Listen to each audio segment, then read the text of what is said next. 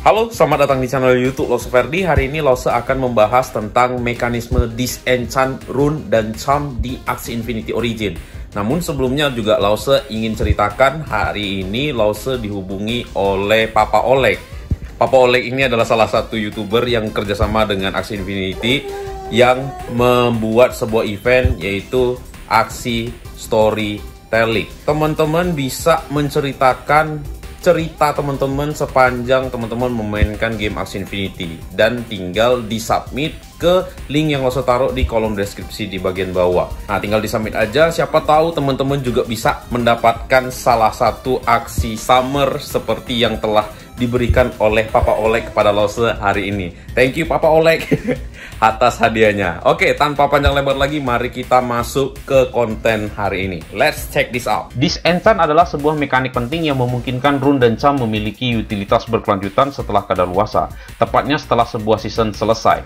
Kami ingin pemain yang menghabiskan banyak waktu dan sumber daya untuk mendapatkan nilai lebih dari mekanisme disenchant ini sambil memastikan keseimbangan tetap terjaga relatif terhadap pemain yang tidak memanfaatkan mekanisme disenchant. Berdasarkan hal ini, kami telah menyetel tingkat disenchant untuk season 0 menjadi sebagai berikut. Nah, di tabel ini, ketika video Lose yang membahas soal rune dan charm di link yang Lose taruh di kolom deskripsi di bagian bawah, itu Lause sempat menyinggung sedikit ketika rune dan charm di season ini berpindah ke season berikutnya, di season berikutnya itu rune dan charm itu nggak bisa dipakai lagi di season berikutnya. Efeknya tuh nggak ada, tapi masih bisa dimanfaatkan dengan menggunakan mekanisme disenchant ini. Kita tinggal disenchantkan rune dan charm itu, nanti akan dapat sejumlah moonshot dan SLP yang ditulis di tabel berikut ini. Nah, jadi di tabel ini kita perlu perhatikan rune, terus Disenchanted while functional ini maksudnya ketika seperti contoh ini kan di season 0 kita dapat rune dan charm yang kita crafting menggunakan SLP. Nah, ketika misalnya kita mau disenchant dia di season 0 ini juga, maka hadiahnya akan seperti ini. Untuk common punya dapat 20 moonshot dan 2 SLP. Untuk rare 220 SLP, epic 1500 150 SLP dan mystic 10.000 moonshot dan SLP-nya 1000. Jadi ini untuk season kali ini ya. Kalau misalnya di disenchant di dalam season tempat kita craftingkan rune dan sam itu ya maka dapat hadiahnya seperti itu. Tapi kalau misalnya kita disenchantkan rune dan charm itu setelah season 0 ini selesai, berarti itu kan di season 1. Ketika kita disenchantkan di season 1, hadiahnya makin sedikit. Makin sedikit setengah nih dari yang pertama. Oke, nah kalau misalnya disenchantnya kita lakukan di season 2, itu hadiahnya jauh lebih sedikit lagi, dibagi setengah lagi. Oke, jadi makin jauh season yang kita lakukan disenchant, makin sedikit fungsi untuk mekanisme disenchant ini memberikan keuntungan lebih kepada kita. Jadi kalau teman-teman mau memanfaatkan maksimal soal mekanisme disenchant ini, teman-teman bisa melakukan disenchant ketika season itu sendiri atau maksimal di season 1 supaya maksimal ya mekanisme disenchant ini dilakukan. Beda cerita kalau misalnya teman-teman mau mengkoleksi rune dan charm dari season 0 ini untuk jadi barang koleksi.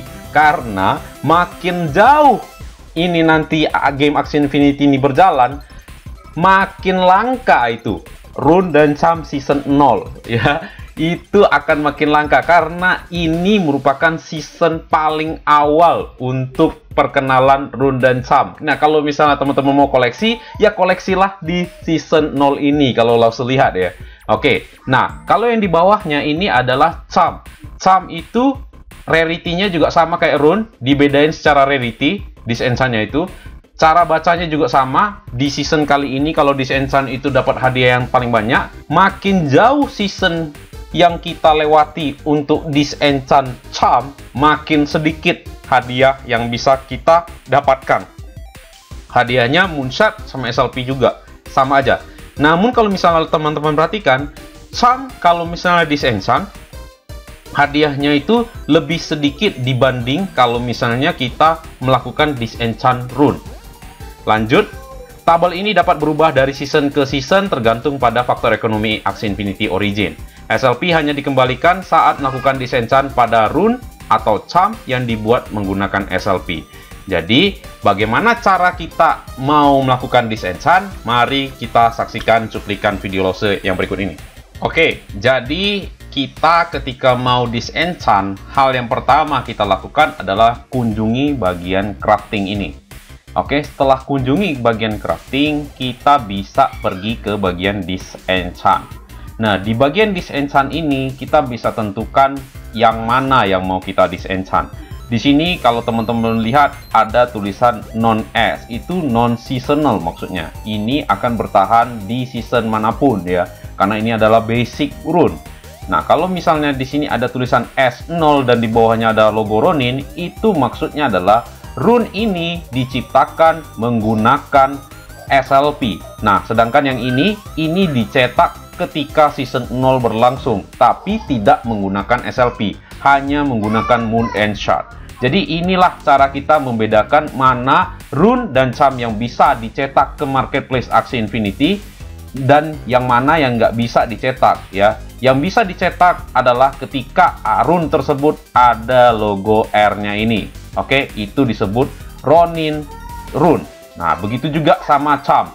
Cham juga sama ya. Di sini ada S0 dan Ronin ya. Ini bisa dicetak ke marketplace untuk kita bisa gak kasih ke teman kita atau kita perdagangkan di marketplace, dijual lah ya. Setiap kali kita mau jual, setiap kita cetak ke marketplace itu butuh 3 dolar dalam bentuk AXS. Ini akan Lause bahas lebih lanjut di video Lause selanjutnya ya.